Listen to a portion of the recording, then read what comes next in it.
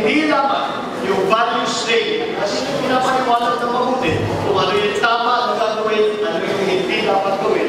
At bukod pa doon, kung maliwanag sa SK official kung ano ang trabaho nila, kung maliwanag na ang trabaho nila ay hindi magsunod-sunuran lamang sa mga nakakatanda sa kanila, sa kanilang mga kamag-anak na mas senior sa kanila, kung hindi, ang trabaho nila ay gumawa ng lahat ng sistema, lahat ng paraan upang tulungan ang kanilang kapwa-kabataan. Kung maunawaan nila yun, ay makikita natin mas magiging effective ang escape at ang katipunan ng kabataan.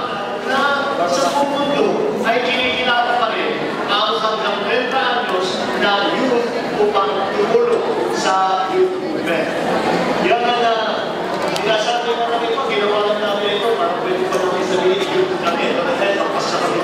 na pwede, hindi na pwede magpunta At uh, na ng mga, ilang natin, alam mga ilang. But anyway, sa aming pananaw, sa aming pananaw, eto mga mer meron magtanong kayo kasi may mga pa. But ang aming pananaw ay ganito ang mga pagbabago na makakasagot doon sa mga problema na hindi na sinasabi at ibinabanggit tungkol sa escape. Ito siguro sa palagay namin ay isang magandang solusyon para bigyan ng bagong buhay ang katipunan ng kabataan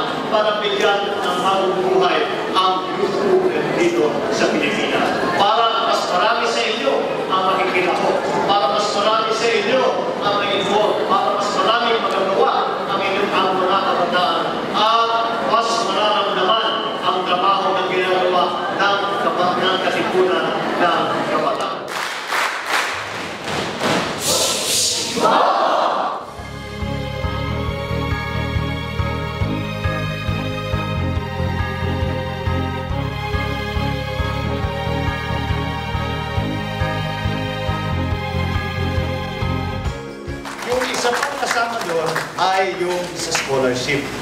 Kung titingnan nyo rin ang uh, local government code, lahat na sinasabi yung mga anak ng go ng uh, barangay elected offi- mga barangay officials ay dapat tumatanggap ng scholarship. At uh, tinanong na naman namin kung bakit hanggang ngayon ay hindi pa naibigay ito, hindi pa natupad yung pangakong yan na galing sa, sa local government ko, ay uh, mas, mas komplikado ang problema. Dahil hindi may standardize ang pamilya. Yung iba, kung ilan ang anak, iba-ibang uh, bilang. Sa, kaya sinasabi, sinong bibigyan natin? Yung una lang, yung unang tatlo, o lahat, o paano gagawin? So, yun ang pinag-aaralan pa natin para standardize yung pagbigay ng scholarship. At uh, pagka na, siguro, pag meron kayong naisipan kung paano gagawin, ay masasabihan nyo rin ako para isa-suggest ko sa DILG para mabigyan na makasolusyon na tayo dito sa scholarship.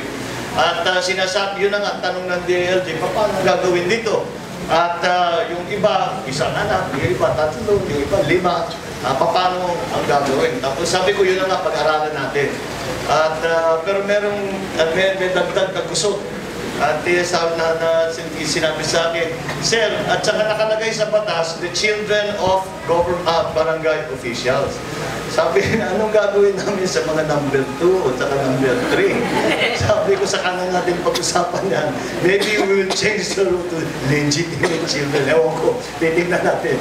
In any case, sabihan ninyo kung meron kayong naiisip at ah, Ah, baka, baka ito ay magamit namin para ma-implement, sa wakas, ma-implement itong aking sinasabi na ipinangako ng batas sa local government code sa ating mga barangay official.